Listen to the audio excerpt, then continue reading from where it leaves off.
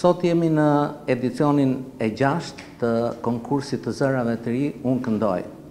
Ky konkurs është bërë një traditë e bukur tashmë në qendrën tonë kulturore, ku nxënësit e të gjithë shkollave të qytetit edhe të fshatit paraqiten në disa faza për konkurimin e ditës finale. Në këtë konkurrim fillimisht janë paraqitur rreth dyqind e pesëdhjetë nxënës, të cilët fazë mas faze kemi arritur në këtë finale e cila ka pesëmbëdhjetë konkurrentë. Fëmijët këndojnë këngë çfarëdo lloj të të gjitha gjuhëve dhe shikojmë sot se kush do të jetë fituesi i këtij konkursi. Qendra Kulturore e Fëmijëve Durrës vjen sot me këtë buqetë këngësh për fëmijë, duke ardhur nga fazat eliminatore të cilat kanë filluar qysh nga muaji janar nëpër shkollat nëntëvjeçare të Bashkisë Durrës. Grupi i punës i ngritur nga Qendra Kulturore e Fëmijëve nën drejtimin e përgjegjësit të sektorit sportit Çlirim Kume, është përbërë nga dy nxënës të kësaj qendre, sot këngëtarë dhe mësues të edukimit muzikor në shkollë, të cilët janë Olta Juba dhe Ermal Laho.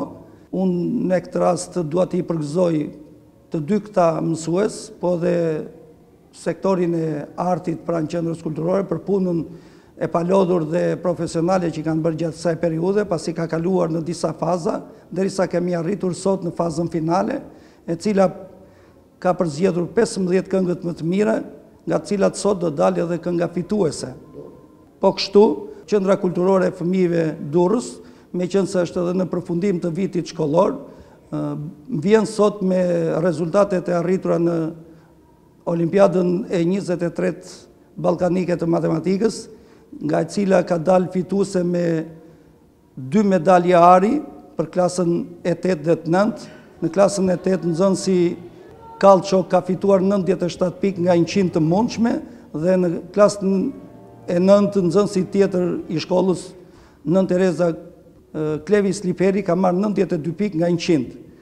Po ashtu janë marrë medalje të bronzit, të argjendta, gjithashtu kemi marrë nga dymbëdhjetë nxënës pjesëmarrës në Berat, kemi marrë njëmbëdhjetë çmime dhe medalje. Vetëm një nxënës u paraqit me fletë mirënjohje. Jam shumë i gëzuar që fitova.